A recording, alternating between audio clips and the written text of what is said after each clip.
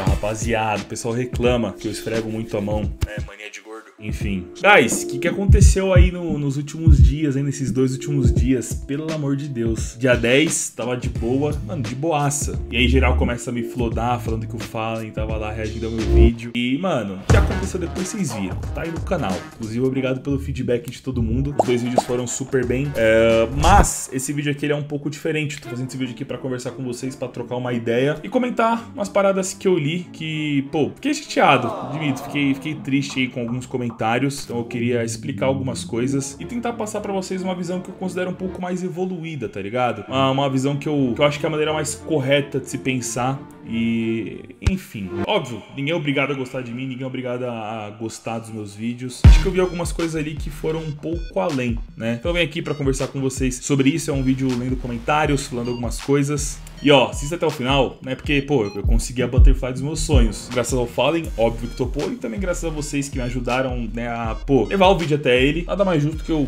pegar uma Butterflyzinha pra vocês. E relaxa, não vai ter que depositar em lugar nenhum, fazer nada. Butterflyzinha pra vocês, uma recompensa boa, como agradecimento, enfim. Antes de tudo, eu preciso mostrar uma parada que eu descobri ontem em live. Mano, olha que bizarro. Olha, olha que coincidência. Eu lembrei de um vídeo do meu canal. Aqui, ó, vocês podem conferir pra não falar que é feio. Achou o Fallen Fala. Pesquisar por isso. É esse vídeo aqui, ó, de 5 anos atrás. Resumindo esse vídeo pra vocês. Ele é de 2017. Eu tava gravando lá no site que na época me patrocinava. Tinha conseguido numa caixa uma Butterfly Crimson Web qualquer, né? E aí eu usei, né, que seria a faca do Fallen pra fazer o título, mas olha o que eu falo no começo do vídeo. Até um tempo atrás, o Fallen usava uma faca assim, chamada Butterfly Crimson Ebb, mano. E essa Caraca, eu dava tudo errado. Butterfly Crimson Abby. Butterfly Crimson Abby Camargo. faca era linda e eu peguei uma paixão por essa faca e um desejo por essa faca simplesmente porque o Fallen jogava com ela, mano. E quando eu comecei a jogar CSGO, eu ficava vendo 24 horas por dia vídeos do Fallen, mano. Eu literalmente fiquei fã dele, aí eu vi ele com aquela faquinha e eu falei, mano, eu preciso dessa faca.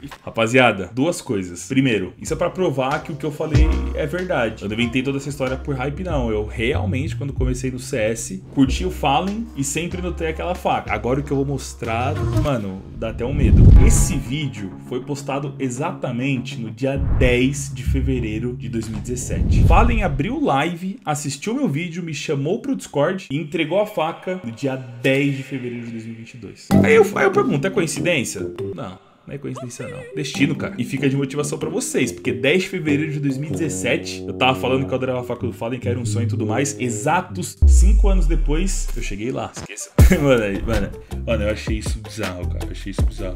Enfim, vamos ler uns comentários aqui. E eu não vou estar lendo os comentários do meu vídeo, porque eu quero furar a bolha, né? Eu leio os comentários do meu vídeo, eu vou ver aqueles comentários da rapaziada que, pô, gosta de mim e tudo mais. Eu agradeço. Mas é importante você, às vezes, furar a bolha, né? Ver o comentário da rapaziada de fora, pra não achar que tá sempre tudo certo. Esse canal aqui, ó, o Cortes TV, ele postou um clipe. Esse clipe tem mais de 65 mil views. Foi o vídeo sobre o assunto que mais alcançou visualizações aí depois do meu canal. Olha, analisando a proposta do cachorro 1337. 127 comentários. Enfim, ó, comentáriozinho do Fire de boa. Cê é louco, os caras gastam dinheiro com skin, credo. É.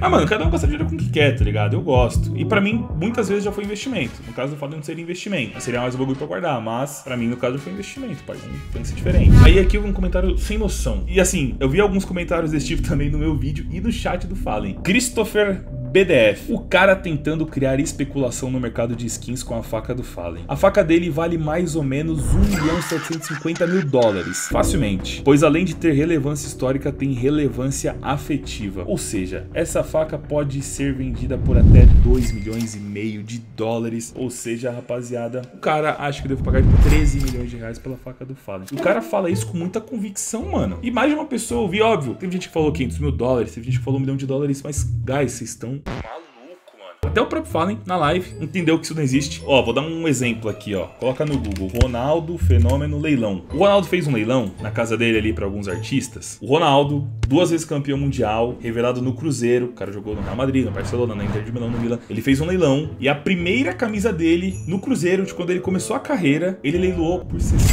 65 mil reais. Mas, segundo o Christopher, eu especulei. A faca vale 2 milhões e meio de dólares. Não, agora falando sério, guys, eu não especulei em nada. Eu não especulei em nada. A faca do Fallen não deixa de ser uma Crimson Web Factory New. Eu peguei o preço de uma Crimson Web Factory New, que é 5.700 dólares, e falei, ó, falei, eu pago 9 mil. Lembrando que eu não dei essa oferta como investimento. Eu não tenho como intenção, sei lá, pegar essa faca por 9 mil e depois vender por mais. Não, essa faca não sai do meu inventário por nada. Só sai para voltar pro inventário dele. Então, não, eu não especulei, eu não tô vendo isso como investimento, eu tô vendo isso como uma aquisição para minha coleção, não pretendo vender. E eu fiz uma oferta, tá ligado? Que ele negou. Né? Aí minha última oferta foi de 15 mil dólares. Mais que a camisa do Ronaldo do Cruzeiro. Outra aqui, ó. Scan do caralho. Se vale 6.500 doll e o cara manda 9k doll a scan, foda-se. Como assim, mano? Eu não entendi o que ele falou. Se vale 6.500 doll e eu mando 9k doll, tô mandando mais do que vale. Que scan é esse? Animal! Burrão! Ó, o ZBR. Eu pagaria 150 mil reais. Porém, não tenho contato com Fala, então vou gastar com putas, cigarros e corotes.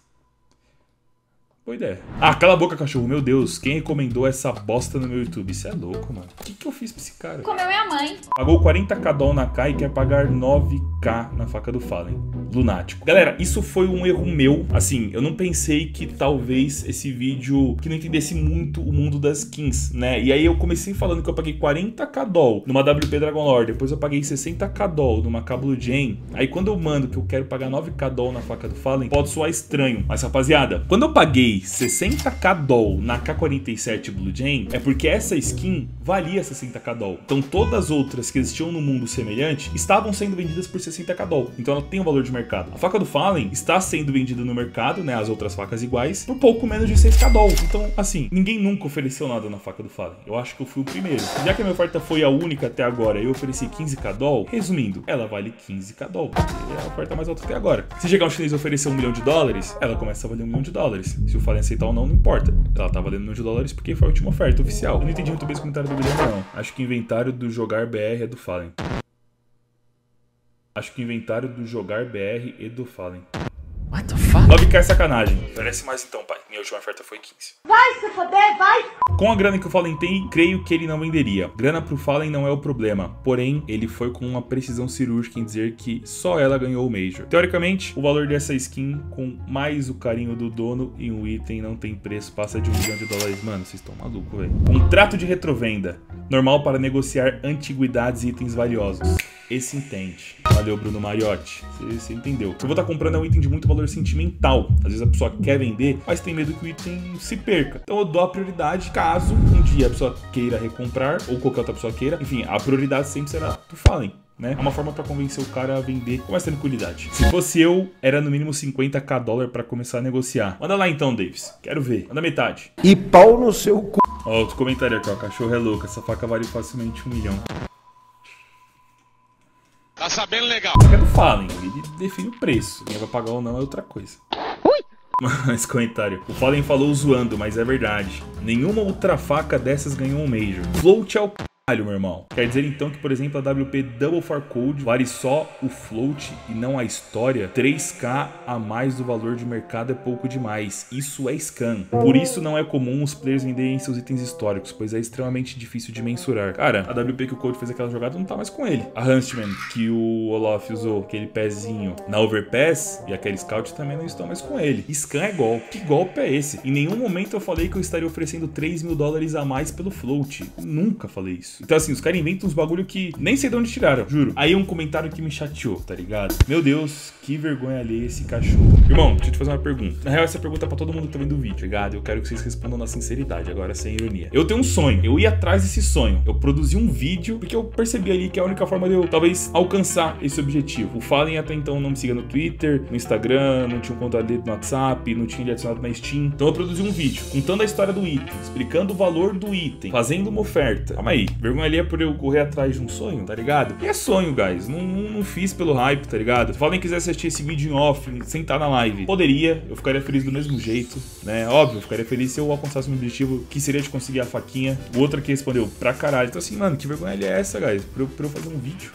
eu respondi aqui, ó. Por que vergonha alheia? Pra fazer uma oferta? Bigão? Sei também que nos meus vídeos parece que eu enrolo, mas pensa comigo. Se mesmo explicando tudo, todos os detalhes sobre a faca do Fallen, ainda teve gente que veio comentar besteira, falando que eu tava oferecendo 3 mil a mais pelo float. Imagine se eu explicasse menos, tá ligado? Então assim, eu penso que não é todo mundo que vai abrir o meu vídeo e já vai saber exatamente o que é float, o que é pattern, o quanto o float valoriza uma skin, quando um pattern valoriza uma skin. Então eu explico. E as pessoas ficam me atacando porque eu enrolo, que eu coloco uh, intro. Cara, já mostrei para vocês. A monetização de todos os vídeos é limitada, tá ligado? Eu consigo produzir isso tudo graças aos patrocínios. Eu agradeço quem apoia, agradeço quem assiste. Mas assim, pô, me julgar por isso, cara. Me julgar por estar tá sobrevivendo do meu sonho, correndo atrás do, do meu sonho, não, não é por aí. Você pode não gostar de mim, pode não gostar dos meus vídeos. Acho que para não gostar da minha pessoa, você teria que me conhecer. Só que ontem aconteceu algo pior e que me chateou muito mais, tá ligado? Aí eu vou, vou abrir meu coração aqui, tá ligado? É uma parada que me chateou. Quando eu tava na live do Fallen, ele tava assistindo meu vídeo, eu tava conversando com ele, eu tava acompanhando o chat da live. E aí, em determinado momento do vídeo, eu falei o seguinte: Ah, Fallen, eu sei que você não tem interesse em vender, né? E que caso você tivesse o interesse de vender um dia, talvez você desse prioridade a outras pessoas que, pô, são mais próximas a ti, como o Gaulês. Mas a real é que eu tô fazendo a oferta. Até então, o Gaulês nunca falou em live, em vídeo, que ele teria interesse de comprar essa faca do Fá. Mas só de eu ter falado isso, um monte de gente começou a flodar no chat. Ah, vende pro Gaulês. O Gaulês ofereceu 20k dólar. O pelo menos até onde vi, não ofereceu nada. E aí eu abri a live do Gaulês, o cara tava transmitindo NBA e um monte de gente foi lá no chat falar: liga pro Fallen, compra a faca dele. Tipo assim, literalmente, as pessoas começaram a tentar convencer o Gaulês a comprar a faca, sendo que o Gaulês nem tinha demonstrado interesse até então,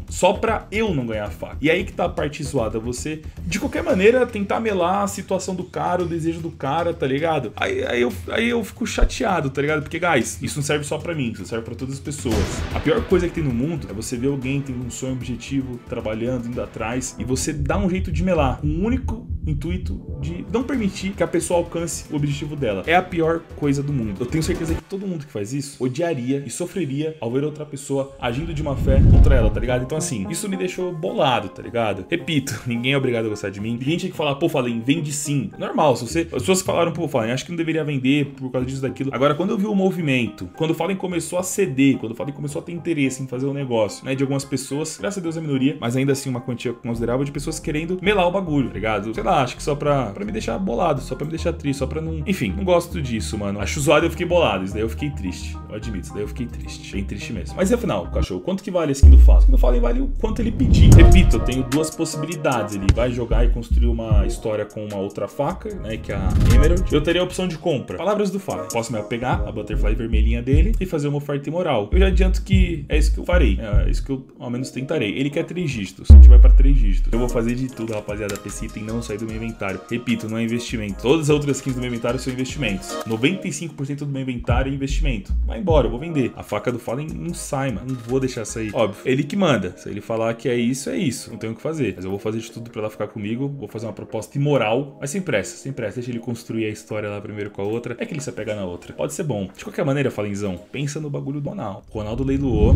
primeira camisa dele com a camisa do Cruzeiro por 65 mil reais. E a minha última oferta na Butterfly foi de 78. Eu vou aumentar ainda. Você vai ter que fazer a boa. Não, mas brincadeira, rapaziada. Independente de qualquer coisa, eu já tô com a faca, já tô muito feliz. Quero agradecer todo mundo que, mano, não precisa ter acreditado, porque nem eu acreditava que isso ia dar bom. Tinha 1% de esperança, mas 99% de fé. De qualquer maneira, agradeço a todo mundo que ajudou o vídeo chegar até o Fallen e que principalmente ficou feliz por mim. Agradecer ao Fallen pela oportunidade e, mano, o mais importante foi tentar passar essa visão de, mano, aprenda a ficar feliz pela conquista dos outros, ou fica neutro ou ajuda a pessoa. Jogar contra, cara, não é legal. Nunca. Não é, não é para mim. É pra todo mundo. Enfim, tamo junto, rapaziada. Se inscreva no canal, ative o sininho. Só lembrando, todos os dias, dois vídeos novos. Se você curtiu um conteúdo do CS da hora, se inscreva aí, porque vai pô, deixar muito feliz. Tamo junto, guys. Eu, Rio, vou ficando por aqui. Até o próximo vídeo no canal Cachorro 337. Falou!